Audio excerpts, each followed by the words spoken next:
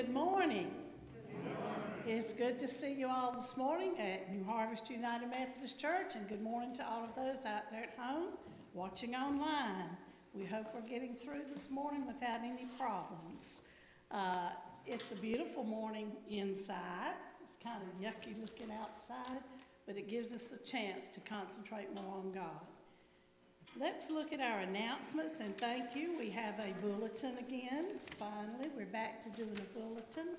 And if you need something in the bulletin, you'll have to let us know early in the week, please. Um, tonight, we're starting our new Bible study. And with the new Bible study, we have a new time. We're going to gather at 5.30. This is in person. We are spread out. We wear our masks and we'll be studying the book of Luke. So come join us if you're interested in studying the book of Luke. Um, I'm going to add, I have already contacted the members of the PPR committee. This is just a reminder 6 o'clock tomorrow evening here at the church, PPR committee. Administrative board, don't forget our November 2nd meeting. The rest of the bulletins are here in the, in the the announcements are in the bulletin. Are there any announcements from the floor this morning? Okay, hearing none, let's move into our worship. God is good all the time. All the time. God is good. God is good. Take your Methodist hymnal, turn to number 452 as we sing, My Faith Looks Up to Thee, 452.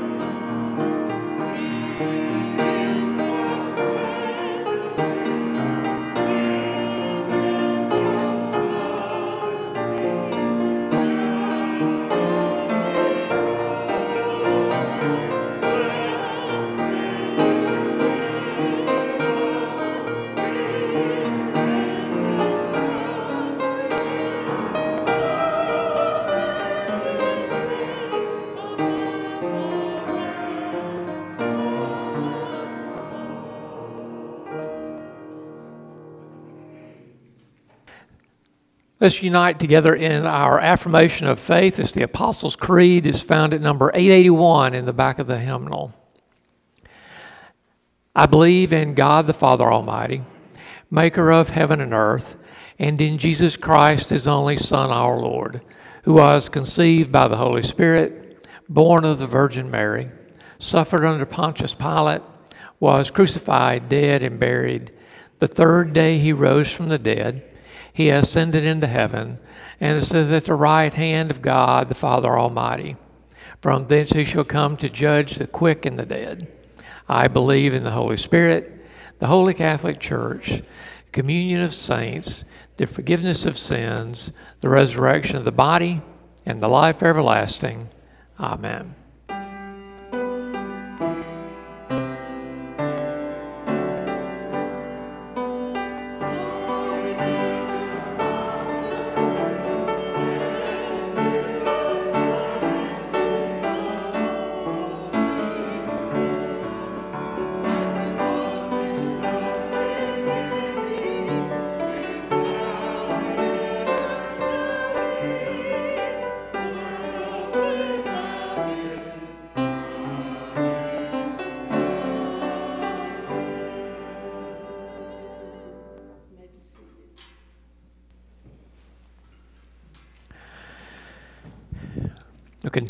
Our worship by joining in, in prayer together and invite you if you have any prayer requests that you would like to bring before us, if you raise your, raise your hand or just call out and let's get those, um, get those prayer requests in.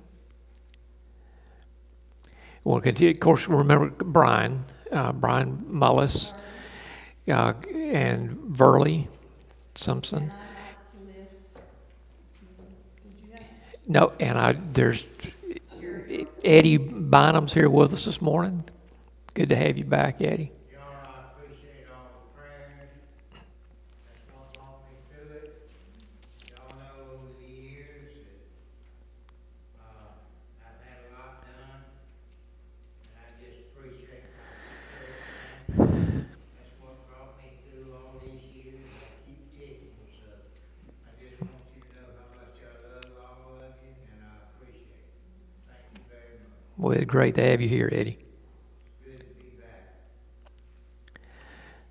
I have two, my sister-in-law Joanne Nussbaum unexpectedly had to go back to the hospital.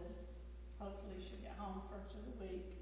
Uh, and my brother-in-law Tommy Devane, it's my sister Alice's, uh, husband. He's having some blood pressure problems, so. Thank you, Susan. Others that y'all have lift up this morning. All right, let's pray together. Almighty and gracious God, it is a special privilege that we always recognize to come before you. That you, the, the creator, master of the universe, care so for each one of us all of us together and each of us individually so much. You love us so deeply that you want us for yourself and you draw us and you call us all the time into that relationship with you that you made us for from. We've not heard you sometimes and we have rebelled against you other times and you keep calling us and we're so very thankful for that. Help us to hear you and to respond to you in the way that you would have us to respond by running to you as hard as we can go.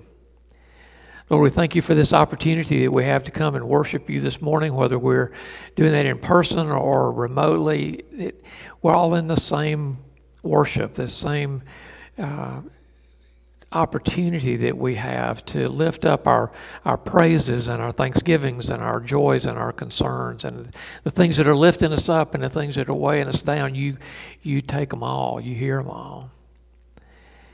Lord, we know that there's so much turmoil in, the, in this country and in the world. And we know without doubt that it's only you that can straighten that mess out.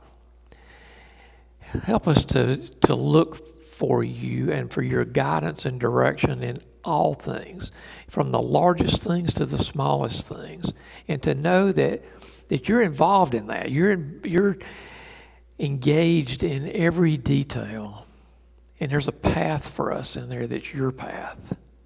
Help us to see it and not turn to the right or to the left, but to stay on it as you call us to do. Lord, we've lifted up particular concerns this morning that we that we well, we call upon you for a special touch of your presence.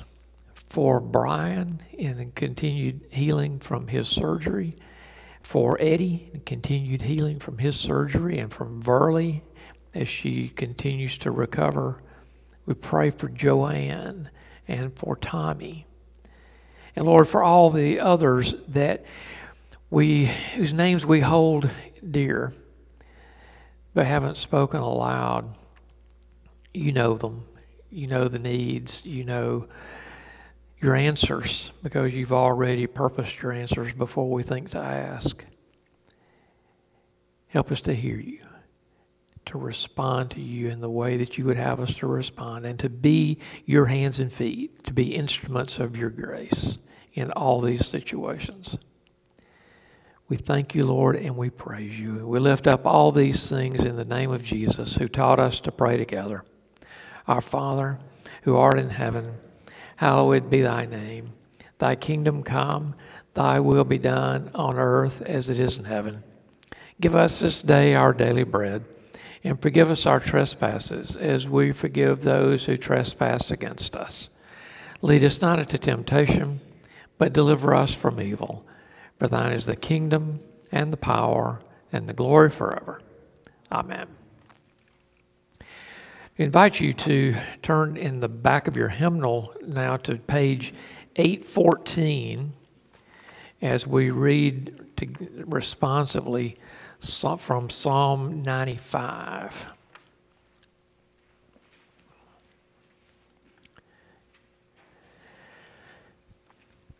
O come, let us sing to the Lord. Let us make a joyful noise to the rock of our salvation. Let us come into God's presence with thanksgiving. Let us make a joyful noise with songs of praise. For the Lord is a great God and a great ruler above all gods, in whose hands are the depths of the earth and also the heights of the mountains. The sea belongs to God who made it and the dry land because God formed it. Oh, come, let us worship and bow down. Let us kneel before the Lord our Maker. For the Lord is our God. We are the people of God's pasture, the sheep of God's hand. Hear the voice of the Lord today. Harden not your hearts as at Meribah, as on the day at Massah in the wilderness, when your forebears tested me and put me to the proof, though they had seen my work. For forty years I loathed that generation and said, They are a people who err in heart, and they do not regard my ways. Therefore I swore in anger that they should not enter my rest. We continue worship with the presentation of our of our offerings. Uh, we're not passing the plates, but have the offer the plates at the back of the, of the sanctuary to receive those offerings. Let's pray together over the offerings. Almighty and gracious God, we thank you for the gifts that we bring back to you out of the abundance you've given to us. Bless them to the building of your kingdom in your precious name. Amen.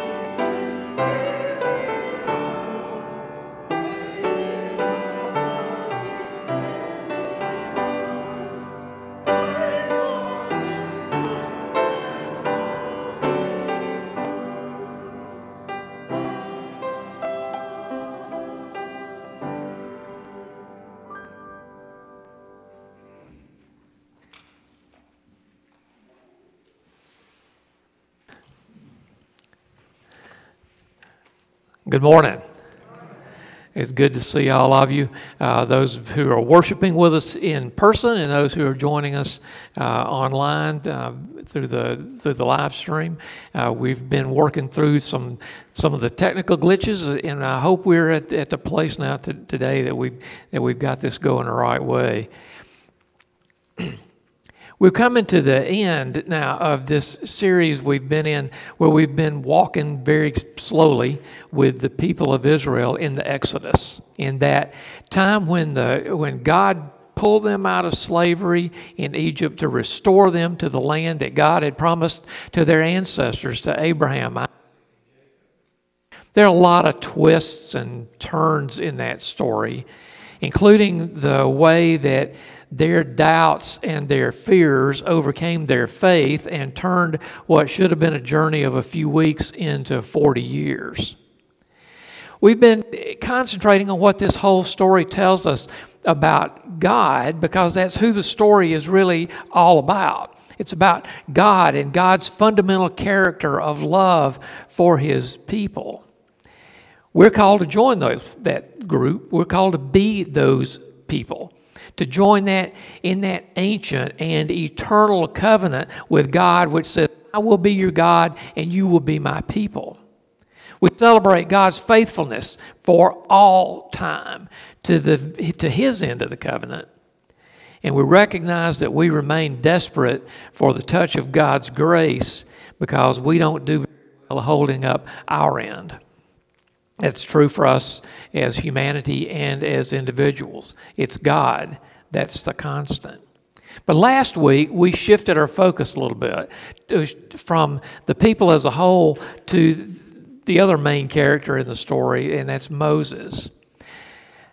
I've been warmed up all week by that image from that we talked about last week from Exodus 33:11 of God talking with Moses as a person would talk with a friend. I want that. I hope you want that. And I realize how absolutely awesome it is that God offers that relationship to all of us, each of us, all the time. You know, the people of Israel spent 40 years in the wilderness between Egypt and the promise.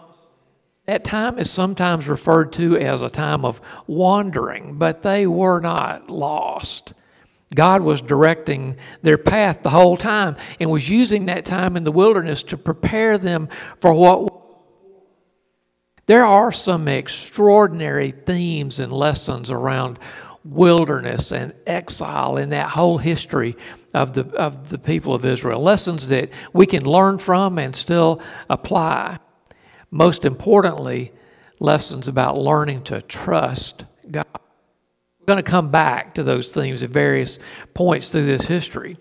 We're going to read this morning about the end of Moses' direct time in that story, and then we're going to look back a little bit. So turn with me to Deuteronomy chapter 34. If you have your Bibles with you, it's right about there, way back at the, at the front. It's right at, this is the, the last chapter in Deuteronomy. Then Moses climbed Mount Nebo from the plains of Moab to the top of Pisgah across from Jericho. There the Lord showed him the whole land, from Gilead to Dan, all of Naphtali, the territory of Ephraim and Manasseh, all the land of Judah, as far as the western sea, the Negev, and the whole region from the valley of Jericho, the city of palms, as far as Zoar. Then the Lord said to him, This is the land I promised on oath to Abraham, Isaac, and Jacob when I said, I will give it to your descendants. I have let you see it with your eyes, but you will not cross over into it. And Moses, the servant of the Lord, died there in Moab, as the Lord had said. He buried him in Moab in the valley opposite Beth Peor, but to this day no one knows where his grave is. Moses was a 120 years old when he died, yet his eyes were not weak nor his strength gone. The Israelites grieved for Moses in the plains of Moab 30 days until the time of weeping and mourning was over. Now Joshua, son of Nun, was filled with the spirit of wisdom because Moses had laid his hands on him. So the Israelites listened to him and did what the Lord had commanded Moses. Since then, no prophet has risen in Israel like Moses, whom the Lord knew face to face who did all these miraculous signs and wonders the Lord sent him to do in Egypt, to Pharaoh and to all his officials and to his whole land. For no one has ever shown the mighty power or performed the awesome deeds that Moses did in the sight of all Israel. It's the word of God for the people of God. Thanks be to God. This chapter ends what the Jewish people know as the Torah, what we know as the first five books of the Bible. You think about what's there. So Genesis gives us the story of creation and God's covenant promise to Abraham. Exodus recounts the defining event in the history of the people of Israel. Leviticus goes into great detail about worship, helping us to see that God takes worship seriously, and so should we. Numbers follows the people in that long journey through the wilderness. Deuteronomy gives us the Shema. Hear, O Israel, the Lord our God is one. And it concludes with these final teachings and instructions of Moses. To this day, the scroll of the Torah is read in synagogues every year, the whole thing, in an ordered way that ends with a great celebration called Simchat Torah, the joy of the Torah. It's a party when they get to the end of it, where the scroll of the Torah is passed from person to person as they sing and dance. The joy is partly about completing that annual reading, but it's also rejoicing that they have this great gift of a Word of God and they get to start again. I love what that says to us about the reading of Scripture how we relate to Scripture. Receiving the Word of God as a gift is a very different thing from reading it as a labor or a duty. That annual cycle of reading the Torah for the Jewish people is not just about studying it, it's about learning it in all of its depth. There are new insights to be gained in it every time we open it, no matter where we open it a rabbi is quoted here says, One cannot compare one who has learned 100 times to one who has done so for the 101st. Isn't that great? We can learn something here. So, writing about the 2020 celebration of Simchat Torah a couple of weeks ago, Rabbi Meir Soloveitchik said this The pandemic has made us understand what we often took for granted how the ability to gather weekly in synagogue and study the Torah together is one of our greatest gifts. And we better appreciate how, in the face of life's trials, it is the book of books that sends us. Catholic Archbishop Charles Chaput said, the Jewish people continue to exist because their covenant is the foundation and glue of their relationship one another, with their past, and with their future. And the more faithful they are to God's word, the more certain they can be of their survival. This is the attitude towards Scripture that the psalmist is talking about It's Psalm 1. Blessed is the man who does not walk in the counsel of the wicked, or stand in the way of sinners, or sit in the seat of mockers but his delight is in the law of the Lord. And on his law he meditates day and night. He is like a tree planted by streams of water, which yields its fruit in season, and whose leaf does not wither.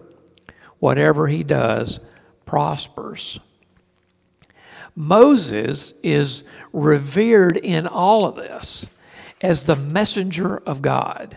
Which is what a prophet is. We think we hear prophet and prophecy. We think about future telling, but what prophet means, what the, what prophets are in Scripture, is messengers from God, people who are hearing and delivering a word. God gave the law to Moses, who delivered it and interpreted it for the people, including us.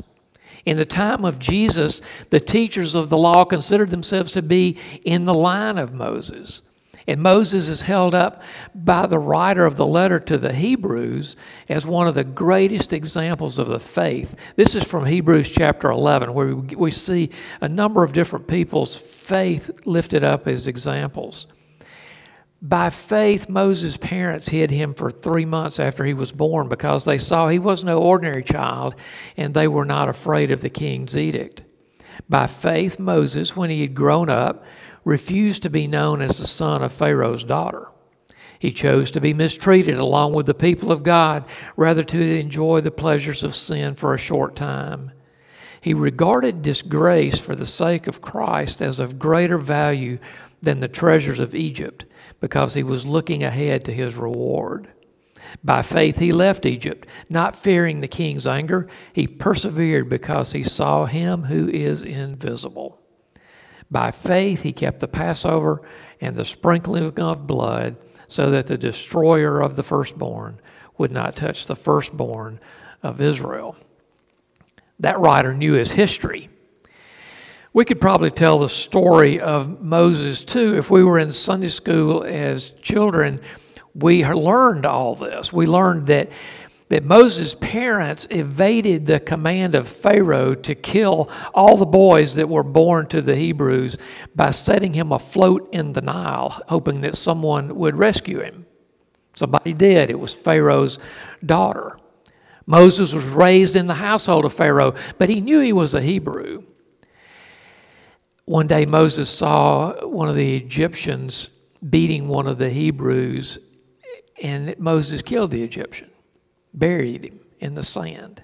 Pharaoh found out about that and sought to have Moses killed himself. But when Moses realized that other people had seen what had happened, he ran for his life to the, out to the Sinai, to the desert.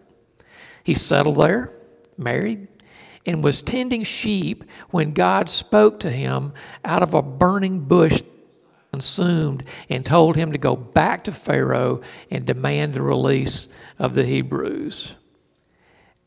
Don't forget that it, when that happened, Moses was about 80 years old. Don't forget that. That begins the story of the Exodus when Moses empowered, when God empowered Moses for spiritual, organizational, military leadership, all kinds of all the leadership he needed. Along the way, Moses assembled all that God had taught him into what we have now as the Torah. On Mount Nebo, as we just read, God gave Moses sight of all of the promised land. If you go there, you can see from the Mount Nebo is in what's now Jordan. It's on the west, I'm sorry, on the east side of the Jordan River, opposite Jericho. So from Jericho, you can see Mount Nebo from Mount Nebo on a clear day, you can see a long way, but you can't see all of what Moses saw without God's sight.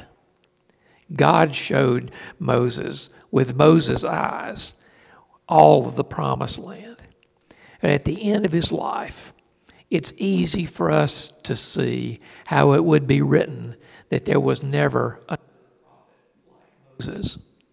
Now, that was a pretty kind of breathless fast forwarding through the life of Moses. And we know there's a whole lot more to his story.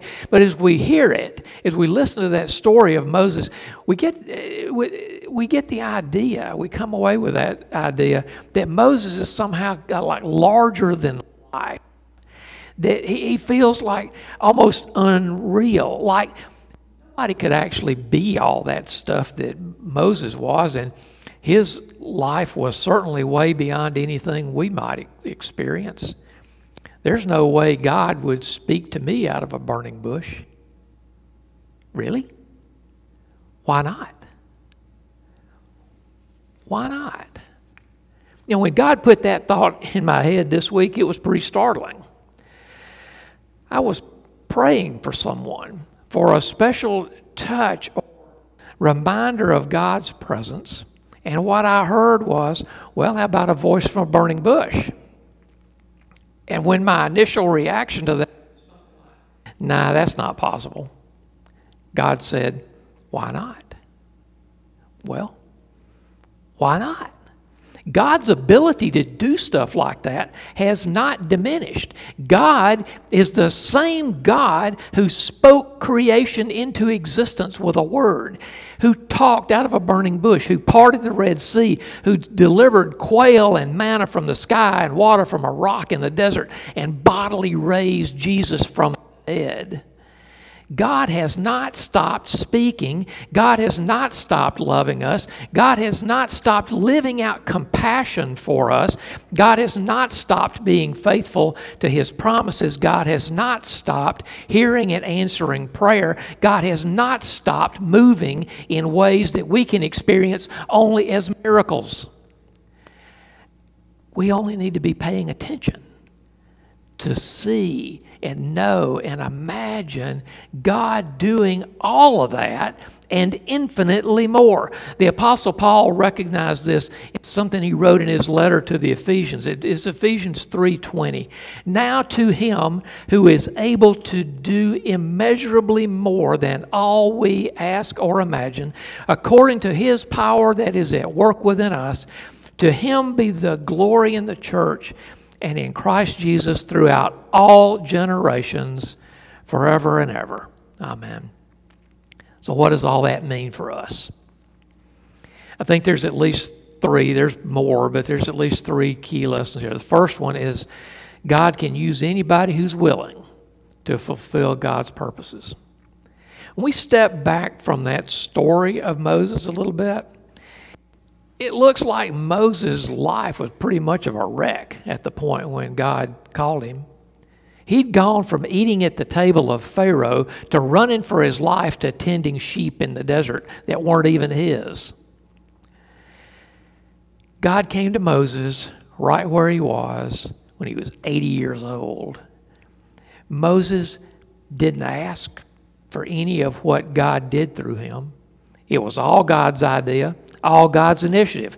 But what Moses did ask for was for the presence of God to go with him and before him. And when he asked for that, God says, Watch me. Because God was already with him and was already before him. Moses had all kind of objections to what God called him to do, and God answered them all and he overcame them all. Moses also had a temper. He was sometimes impatient family squabbles he had to deal with, and occasionally we see him having a pity party. But he always returned to the grounding of faith, to the assurance that God was with him and before him. It just took Moses being willing to be used by God for Moses to experience all of that. Second thing is, God is not limited by our idea of what answered prayer is. When the people of Israel were fleeing Egypt and they found themselves trapped between the Egyptian army that was chasing them from behind and the Red Sea in front of them, it's hard to imagine that anybody in that bunch figured that the way out of that mess was a path of dry land through the Red Sea we could survey history, biblical and otherwise, and do example after example of this kind of move of God. God's ways are not our ways, and God's imagination is not limited, not limited ours. The example of Moses here should teach us that what God calls us to do is to believe and follow. That includes believing when what we see is not what we were expecting or hoping for and it includes following when the path is not where we were expecting or hoping to go. Moses believed and followed when that did not seem like a rational thing to do. Jesus repeated that same message over and over believe and follow. Third thing is that God holds nothing back, and He wants all of you. I'm still marveling at this idea of God talking with me as a person talks with a friend. That's a deep, personal, intimate relationship with the creator of the universe. And I'm pretty sure it doesn't happen if we hold anything back. God didn't hold anything back from Moses. Jesus didn't hold anything back from us. When he became sin to free us from the power of sin and submitted himself to death to free us from the power of death. Moses held nothing back from God. Even in his weakness and doubt and fear, Moses trusted God from the depth of his being. That's the story of Moses. And it can be the story of us, of each one of us, individually, as a congregation, as the church universal, as the people of God. We may not be called to spectacular things, but we are all called every day in the smallest of things and in the greatest of things into that very relationship with God. That intimate, personal, deep, reaching into the depths of our soul relationships. The abundant life now, perfect in eternity. Are you open to a voice from a burning bush? Why not? Amen. Let's pray together. Almighty and gracious God, open us. Open us to, to, to receive you, to receive your word and all the different ways your word comes to us out of, out of scripture and out of creation and out of all the different ways that you speak to us now. Help us to hear you, to hear you calling us, drawing us, enveloping us speaking with us as a friend, the friend of all friends. Amen.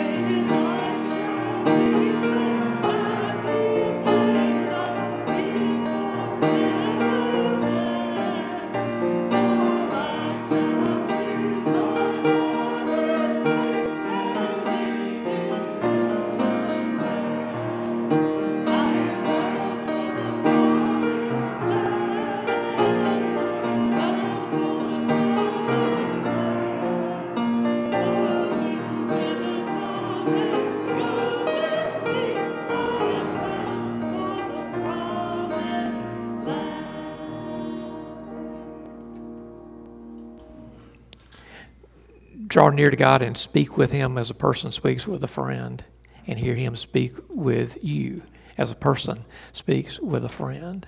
In the name of the Father, and the Son, and the Holy Spirit. Come, Lord Jesus. Amen.